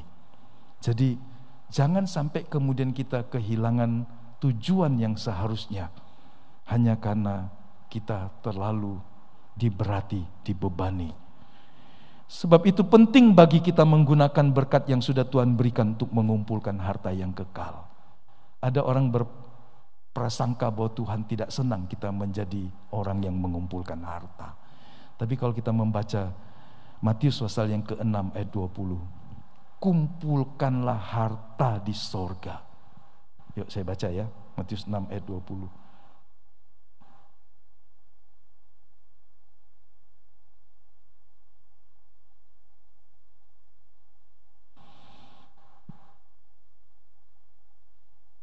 Tetapi kumpulkanlah bagimu harta di sorga. Di sorga ngengat dan karat tidak merusakkannya. Dan pencuri tidak membongkar serta mencurinya. Tuhan mengajarkan agar berkat yang kita terima tidak boleh semuanya dihabiskan. Jangan semuanya jadi roti. Tapi kita juga menaburkannya sebagai benih. Dan kita tidak bisa membawa harta ke sorga. Tapi kita bisa menaburnya di sini dan mengambilnya di sana. Zaman dulu ketika transfer uang tidak seperti sekarang. Maka orang menitipkan sejumlah uang tunai kepada seseorang di sini. Dan kemudian dia hanya mengambil kertasnya saja. Dan kemudian dia bisa menukarkannya kepada relasi dari orang ini di kota tertentu di mana dia punya langganan. Biasanya dia akan mengirim barangnya ke sana dan uangnya bisa diambil di sini. Sebuah cara, dia tidak perlu membawa uang tunai, tapi dia cuma bawa sebuah catatan bahwa dia telah menaruh uang di tempat pelanggannya di sini dan dia bisa mengambil di sana. Sebuah pola transfer uang yang sangat sederhana berlaku sampai tahun 70-an. Orang bisa menggunakan cara itu. Saya menitipkan uang kepada seseorang yang juga mengirim barang ke sana dan orang sana berkata, "Ya kau bisa ambil uang di sana." di toko atau di tempat itu. Anda tidak bisa membawa semuanya ketika kita mati, tapi Anda bisa menaburnya sekarang dengan kebaikan, ketulusan, kemurahan hati, dan sebagainya, sehingga Anda akan kaget kalau Anda masuk dalam kerajaan. Mazmur 23 berkata, "Dan semuanya menyertai Engkau." Anda akan kaget dengan apa yang dikatakan dalam surat Wahyu bahwa semua akan menyertai engkau. Bukankah itu sesuatu yang mengagumkan? Orang-orang kaya di zaman dulu menguburkan ribuan keping uang emas dalam peti matinya dan beranggapan bisa digunakan di negeri leluhurnya. Orang-orang Apache, suku Indian, menaruh busur dan panah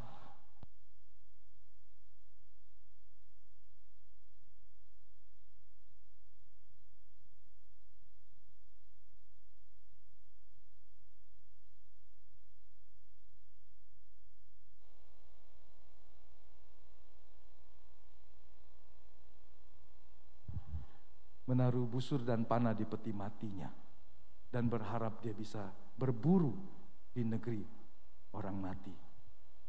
Tapi sebetulnya kita tahu itu tidak mungkin.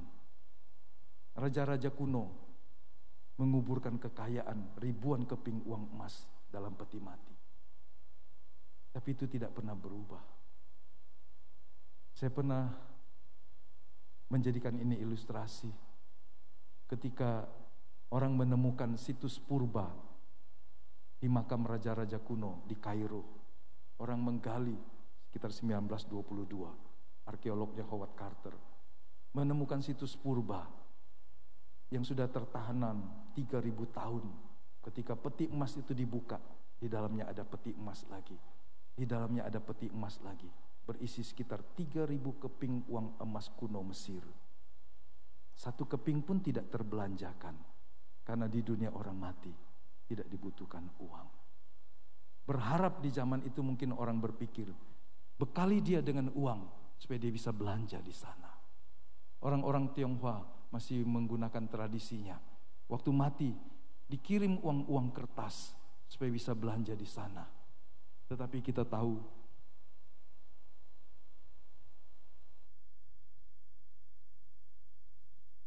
Semua bukanlah seperti itu. Tapi Alkitab berkata, kumpulkanlah bagimu harta di sorga. Amin. Ya, mungkin saya tidak bisa sampai kepada bagian yang kedua. Tapi sederhana saja, atau saya lang langsung hanya poinnya saja, mengatasi kepahitan hati dengan cara. Yang pertama,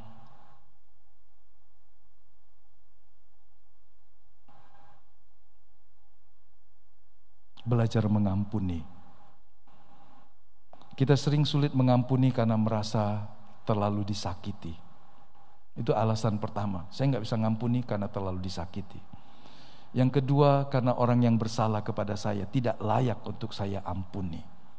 Yang ketiga, bisa saja kita merasa saya rugi kalau saya ngampuni dia. Enak aja dia. Saya belum pernah berbuat salah, dia berulang-ulang dengan saya berbuat dosa. Masakan saya mengampuni dia.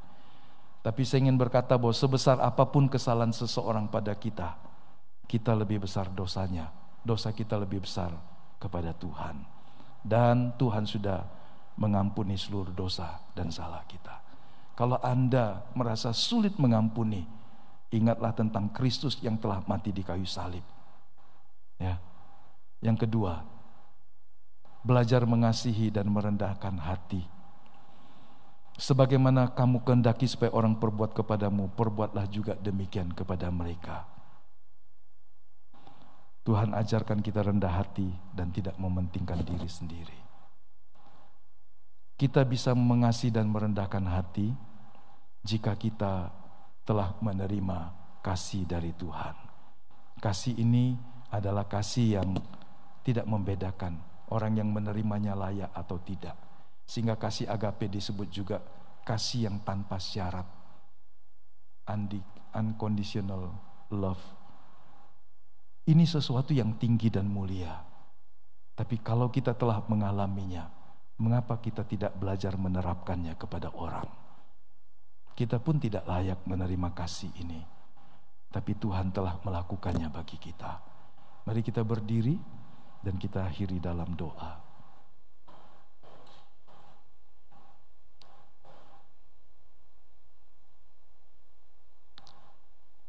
Saya ingin mengajak kita untuk merenungkannya.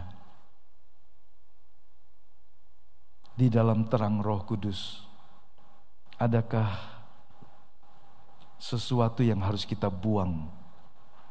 Entahkah ketamakan, benih-benih ketamakan dan keserakahan yang tersembunyi di dalam semua motivasi? Adakah kepahitan hati, luka yang dalam? Membuat engkau sukar mengampuni. Pandanglah kepada Kristus. Dia telah mati bagimu. Sementara Anda berdiri di hadapan Tuhan atau duduk, bukalah hatimu. Biarkan Roh Kudus menerangi sampai kedalaman hatimu. Akuilah Tuhan, maka Dia akan meluruskan jalan-jalanmu.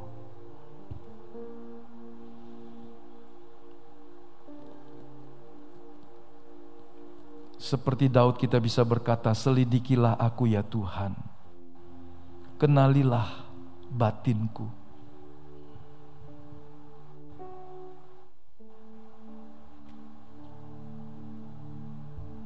Jangan malu untuk mengakuinya. Jangan segan untuk mengakuinya. Ketika Roh Kudus membisikkan itu kepadamu, Dia ingin membalut. Dia ingin memulihkan hatimu, hidupmu.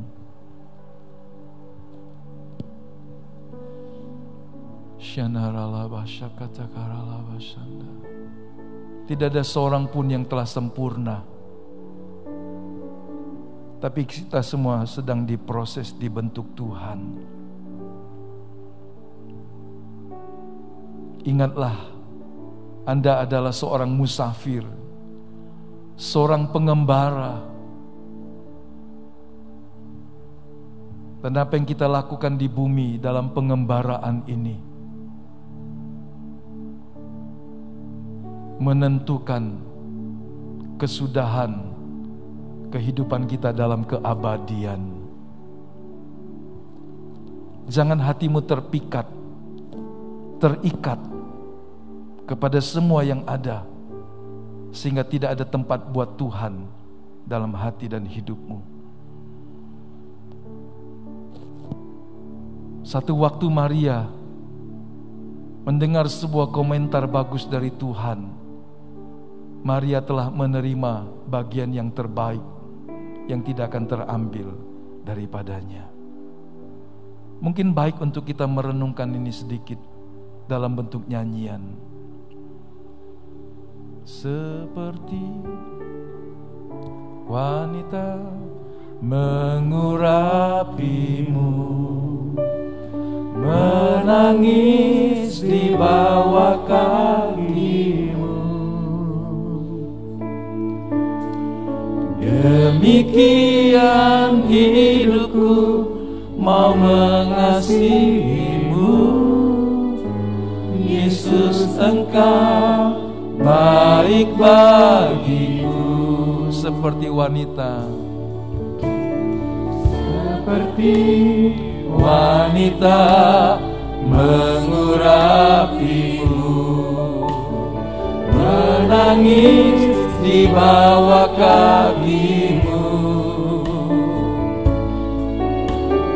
Demikian hidupku mau mengasihimu Yesus engkau baik bagiku.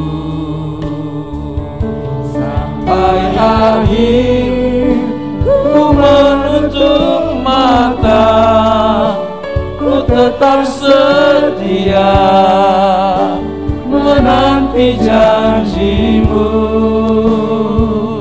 Sampai ku dapatkan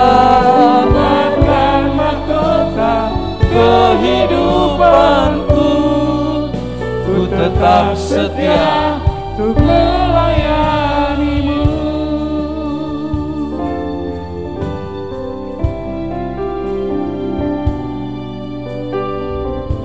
Ini doa kami ya Tuhan.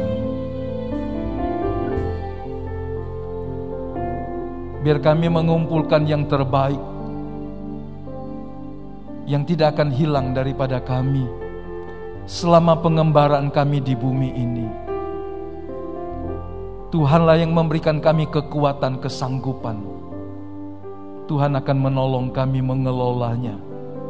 Hidup kami, waktu kami, kepandaian kami, jabatan dan kewenangan, harta benda, semua yang ada pada kami, kami mengakui datangnya dari Tuhan dan kami bersyukur berterima kasih. Banyak atau sedikit, ajar kami untuk selalu bersyukur kepada Tuhan, selalu berterima kasih, dan kami mau mengelolanya, menggunakannya dengan baik dan benar. Tuhan, ajari kami senantiasa, condongkan hati kami untuk hanya mengasihi Engkau lebih dari pemberian-pemberianmu, lebih dari berkat-berkat, karena semua yang kami perlukan Tuhan sediakan. Tapi kami ingin percaya dan mengasihi Engkau lebih dari semua kebutuhan kami dalam hidup ini. Sesungguhnya Engkaulah kebutuhan terbesar dalam hidup kami sekarang ini, di bumi ini, sampai di dalam kekekalan. Kami ingin bersama Tuhan selamanya. Teguhkan kami, teguhkan hati kami, meteraikan hidup kami di dalam keselamatan abadi yang daripada Tuhan. Terima kasih banyak Bapak.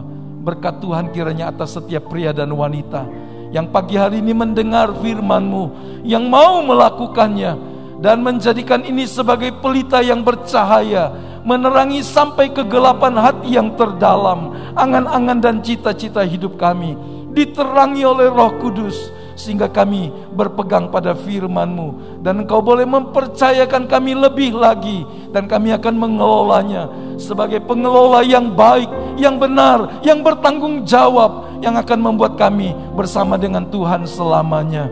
Terima kasih banyak Bapa. Terima kasih berkat Tuhan tercurah atas kami, atas roh, jiwa, dan tubuh, atas rumah tangga, kesehatan, keuangan, pekerjaan kami, di mana pun kami Tuhan utus, biarlah kami menjadi berkat, memuliakan namamu sebagai pengelola yang baik dari kehidupan yang Allah percayakan. Berkati semua pelayan-pelayan Tuhan, pemuji, pemusik, penari, multimedia, asyir. Tuhan memberkati semua penyembahan kami, ucapan syukur kami, persembahan kasih kami bagi kemuliaan namamu. Mereka yang ada di rumah masing-masing, di mana pun mereka, biarlah Tuhan juga menolong dan memberkati hidup mereka bagi kemuliaan namamu. Kami persembahkan doa dan hidup kami, syukur kami kepada Tuhan Allah yang empunya segala-galanya dalam nama Tuhan Yesus Kristus. Kekasih-kekasih Tuhan, pulanglah dengan membawa berkat dari Allah Bapa. Kasih karunia dari Tuhan Yesus Kristus, persekutuan penyertaan Roh Kudus memenuhi hidup kita sekarang sampai selamanya. Sampai kita semua dibawa masuk ke rumahnya yang kekal di sorga yang mulia. Terpujilah Tuhan. Haleluya. Amin.